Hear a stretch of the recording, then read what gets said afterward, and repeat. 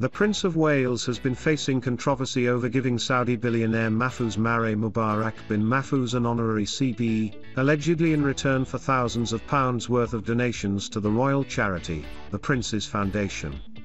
This emerged in November after Michael Fawcett, chief executive of the foundation, stepped down after being confronted with a letter in which he said the charity would be happy and willing to use its influence to help Mahfouz, who had donated hundreds of thousands of pounds. According to the Times, Scotland Yard TMS Special Inquiry Team have formally requested correspondence between royal aides involved with securing the honour, to examine whether the fixing of the CBE could breach the 1925 Honours, Prevention of Abuse, Act, which carries a two-year prison sentence. But while the force has made initial inquiries into Mr. Fawcett, a full investigation has not been launched. Prince Charles reportedly took part in numerous private meetings with the billionaire, as well as writing him a letter and sending him a gift, a miniature carriage clock. Mr. Mahfouz met with the future king for the first time on March 27, 2014 at Clarence House, alongside Mr. Fawcett, and Mr. Mahfouz's fixer. The pair discussed the Prince TMS restoration of Dumfries House, the 18th century Ayrshire mansion where he stays four times a year, and the possibility that the Saudi might donate a seven-figure sum to it, according to the Times. The paper reported that this was put in writing a few days later, in correspondence from Mr. Mahfouz's fixer, who allegedly promised a 1 million donation for the restoration and renaming of the gardens at Dumfries House which became the Mahfouz Garden.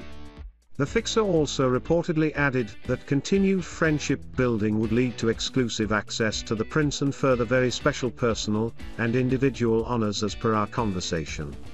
He added, these are, at this stage, too sensitive to mention here.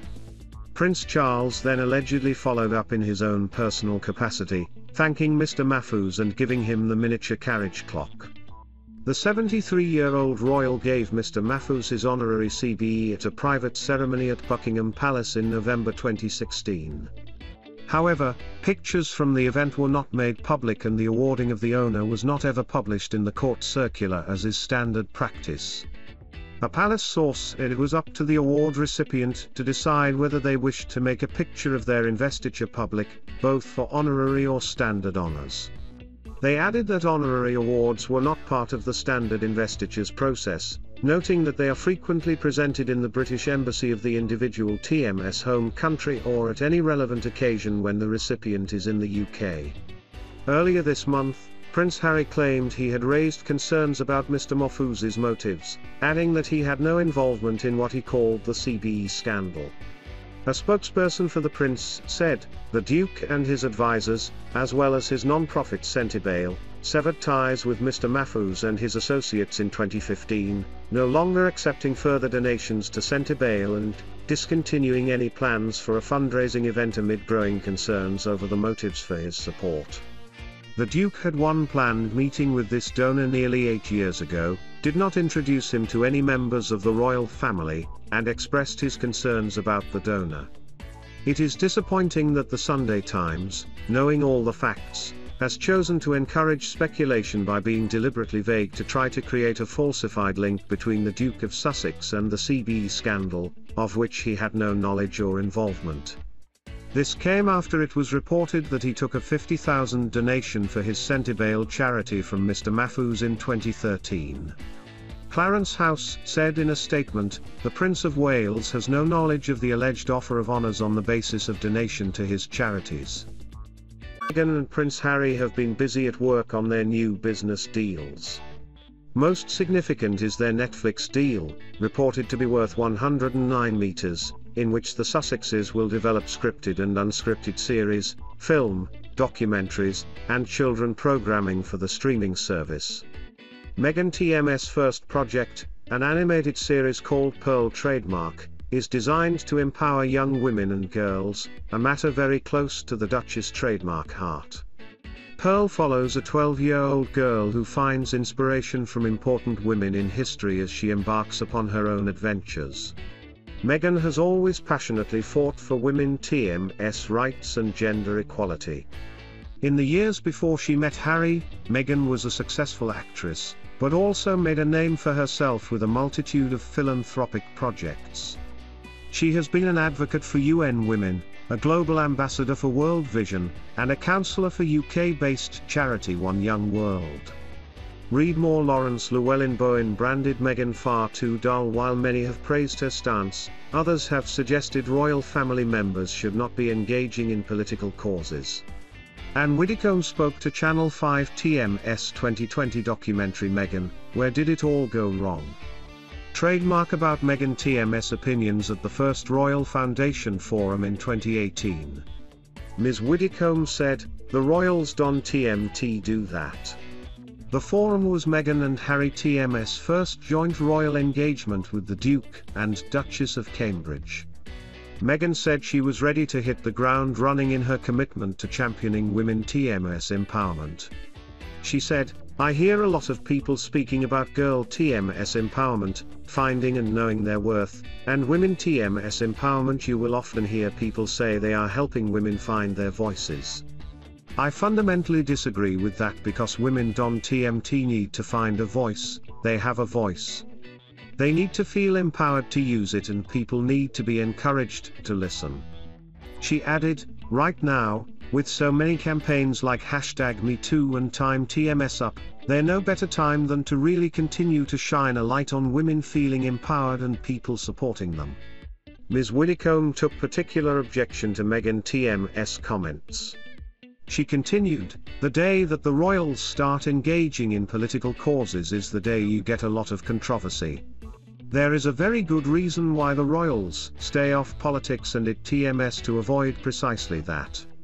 Meghan TMS' fight for female empowerment began at the age of 11, when an advert for washing up liquid came onto her TV. The advert said, women all over America are fighting greasy pots and pans. Meghan wrote to Procter & Gamble, the company behind the advert, and to First Lady at the time, Hillary Clinton. Her efforts paid off, and the advert was changed to people all over America. Meghan and Harry are both advocates of various causes, including the Duke TMS own Invictus Games project. The sporting spectacle for injured, wounded and sick members of the military community will be the subject of Harry TMS own Netflix venture. Part of Invictus will follow the journey of competitors from around the world in their battle to reach next summer TMS Games, to be held at The Hague in Holland.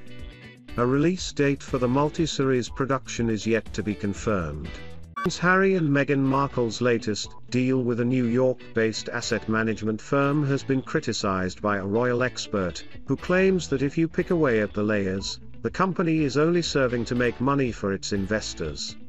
The Duke and Duchess of Sussex announced through the New York Times that they had become impact partners at Ethic, a sustainable investment firm, on October 12.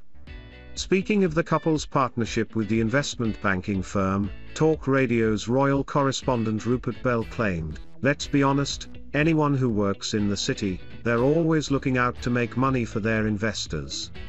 Now, they might have offices that are run slightly differently, dogs running around New York or wherever or whatever they're doing, but ultimately it's all about making money for their investors. They say if an investor chooses to invest in Fox Corporation, they're happy to do it they don't really care, they just want to make money even though they are doing it, they say, slightly different. Yes, it's great for Meghan and Harry, they might think this looks good but actually, when you pick away at the layers, they're no different from any other corporate organization in New York who is out to make money for their investors. The company Ethic screens businesses and sectors to invest in based on their social responsibility criteria on issues such as climate change and racial justice. The Duchess of Sussex told the newspaper, From the world I come from, you don't TMT talk about investing, right? You don't TMT have the luxury to invest. That sounds so fancy. My husband has been saying for years, gosh, Don TMT you wish there was a place where if your values were aligned like this, you could put your money to that same sort of thing. The couple hope their involvement in the firm will encourage young people to consciously consider their investments, and to look for sustainable alternatives. Prince Harry said, You already have the younger generation voting with their dollars and their pounds, you know, all over the world when it comes to brands they select and choose from. In a statement, Ethic said they were thrilled to be working with the Sussexes, who share a lot of values with us, and we suspect, with many of you as well. They added, they TM re deeply committed to helping address the defining issues of our time such as climate, gender equity, health, racial justice, human rights, and strengthening democracy and understand that these issues are inherently interconnected. Don't Miss Ethic currently has 1.3 billion under management, and have invested large amount into giant tech companies. According to a recent US filing, the company's 13th biggest investment is in Facebook shares, of which it has $6.9 million, 5 million. They have also invested $32 million in Alphabet, the parent company of YouTube owner Google, as well as a $2 million investment in Twitter. Both Prince Harry and Meghan Markle have previously spoken out against the impact of social media, describing it as a relatively lawless space where misinformation is rampant. Since leaving the royal family in 2020, the couple have signed a number of lucrative deals to ensure their financial independence, including a Netflix deal that is estimated to be worth 100 million.